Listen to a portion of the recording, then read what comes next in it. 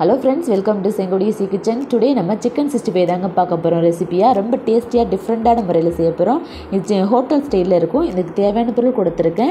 இது பார்த்தீங்கன்னா சிக்கன் வந்து நான் ஆஃப் கேஜி அளவுக்கு லெக் பீசஸாக வாங்கியிருக்கேன். லெக் பீசஸ் கிடைக்கலனாலும் பரவாயில்ல. நீங்கள் லூ நார்மல் சிக்கனாக வாங்கிக்கோங்க. இது மாதிரி இருந்தால் குழந்தைங்க விரும்பி சாப்பிடுவாங்க. இது மாதிரி அந்த பீசஸில் கீரல் போட்டு வச்சுருக்கேன். மசாலா உள்ளே இறங்குறதுக்காக. இதுக்கு பார்த்தீங்கன்னா நான் சின்ன வெங்காயமும் பச்சை மிளகாயும் என்னோடய ஸ்டைலில் நான் செய்கிறேங்க சிக்கன் சிக்ஸ்டி ஃபைவ் ரொம்ப டேஸ்டியாக இருக்கும். இந்த மாதிரி ஒரு முறை செஞ்சு பாருங்கள் இந்த பச்சை மிளகாயை ஒரு மிக்ஸி ஜாரில் போட்டு பச்சை மிளகாயும் சின்ன வெங்காயத்தையும் குறை குறைப்பாக இந்த மாதிரி அரைச்சி எடுத்துங்க நைஸாக அரைக்கணும்னு தேவையில்லை. ஒரு க்ரன்ச் பண்ணி எடுத்தால் போதும். இப்போ நம்ம எடுத்து வச்சுருக்க சிக்கனில் நம்ம எல்லா மசாலாவையும் சேர்த்து மிக்ஸ் பண்ண போகிறோம் ஃபஸ்ட்டு நம்ம அரைச்சி வச்சுருக்க பச்சை மிளகாயும் சின்ன வெங்காயத்தையும் ஆட் பண்ணிக்கலாம். இந்த மாதிரி செய்யும்போது ஒரு த்ரீ டு ஃபோர் ஹவர்ஸ்ட்டு நீங்கள் மசாலா பிசைஞ்சு ஊற வச்சுருங்க. அப்போ தான் நல்லாயிருக்கும் ஃப்ரை பண்ணும்போது மசாலாலாம் உதிராமல் அழகாக வரும். இதுக்கு ஒரு டீஸ்பூன் அளவுக்கு இஞ்சி பூண்டு பேஸ்ட் எடுத்துருக்கேங்க. அதே சேர்த்துக்குங்க. காரத்துக்கு ஒரு டேபிள் ஸ்பூன் அளவுக்கு மிளகாத்தூள் எடுத்திருக்கேன். வெறும் ரெட் சில்லி தாங்க.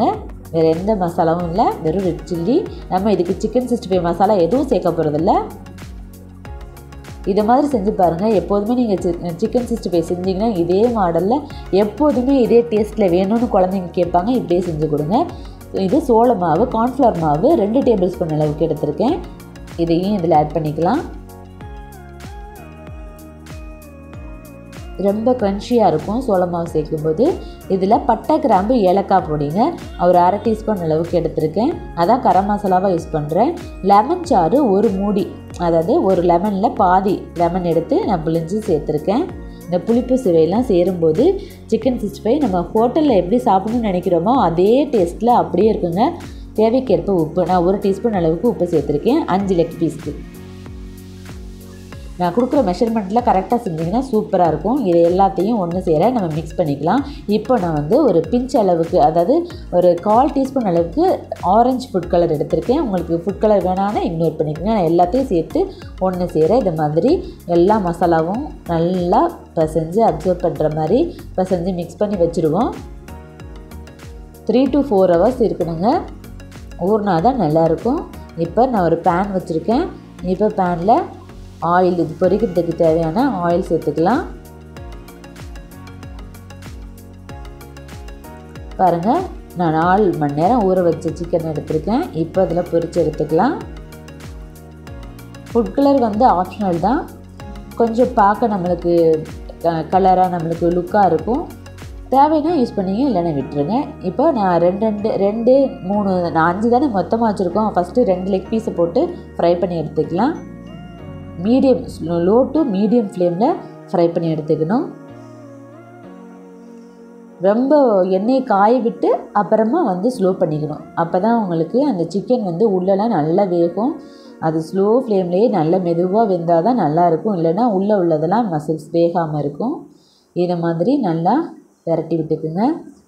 சுற்றி எல்லா பக்கமும் நல்லா வேகணும். சம்டைம் வந்து நம்ம அவசர அவசரமாக எடுத்தோம்னா உள்ளே வந்து வேகாமல் இருக்கும். நல்லா ஃப்ரை பண்ணி விட்டுக்குங்க. இந்த மாதிரி பரட்டி விட்டு எல்லா சைடும் நல்லா வேகணும். பாருங்கள் மசாலாலாம் கொஞ்சம் கூட உதிரவே இல்லை பாருங்கள் கடையில் நீங்கள் எப்படி வாங்கி சாப்பிடுவீங்களோ அப்படி இருக்கும். இதே மெத்தட்லேயே நீங்கள் லாலிபப்பும் செஞ்சு பார்க்கலாம். ரொம்ப டேஸ்டியாக இருக்கும். அவ்வளோதான் நம்ம சர்விங் பவுலுக்கு மாற்றிக்கலாம் ரெடி ஆயிடுச்சு சிக்கன் இதே மாதிரி ரிமைனிங் இருக்கிற மூணு லெக்கையும் போட்டு நம்ம ஃப்ரை பண்ண போகிறோம் அவ்வளோதாங்க ரொம்ப டேஸ்டியாக சிம்பிளாக இதை ஊற வைக்கிறது தான் டைமிங் ஆனால் ஃப்ரை பண்ணி எடுக்கிறது கொஞ்சம் ஸ்லோவாக இருக்கும். அவ்வளோதான் மற்றபடி ஈஸியாக செஞ்சு முடிச்சிடலாம். ரொம்ப சுலபமாக கடையில் எப்படி இருக்குமோ சிக்ஸ்டி ஃபைவ் அதே மாதிரி இருக்கும். பிரியாணிக்கெலாம் ரொம்ப சூப்பராக இருக்குங்க. செஞ்சு கொடுத்து பாருங்கள் பாருங்கள் மற்ற மூணையும் நான் ஃப்ரை பண்ணிட்டேன். அதே மாதிரி. உங்களுக்கு லெக்கு கிடைக்கல அப்படின்னா நார்மல் ஒன்றும் பிரச்சனையே கிடையாது. நார்மலாக நீங்கள் வாங்குகிற சிக்கனையே இதை பொறிச்சு பாருங்கள் ரொம்ப சூப்பராக இருக்கும். டேஸ்ட்டு நல்லாயிருக்கும் அப்புறம் திருப்பி திருப்பி இதாக செய்வீங்க. சிக்கன் சிக்ஸ்டி ஃபைவ் மசாலா இல்லாத எப்படி பார்த்தீங்கன்னா ரொம்ப அருமையாக ஹோட்டல் ஸ்டைலில் சிக்கன் சிக்ஸ்டி ஃபைவ் டேஸ்டியாக ரெடி ஆகிடுச்சுங்க க்ரன்ச்சியாக டேஸ்டியாக ரெடியாக இருக்குது நீங்களும் ட்ரை பண்ணி பாருங்கள் தேங்க்யூ ஃபார் வாட்சிங்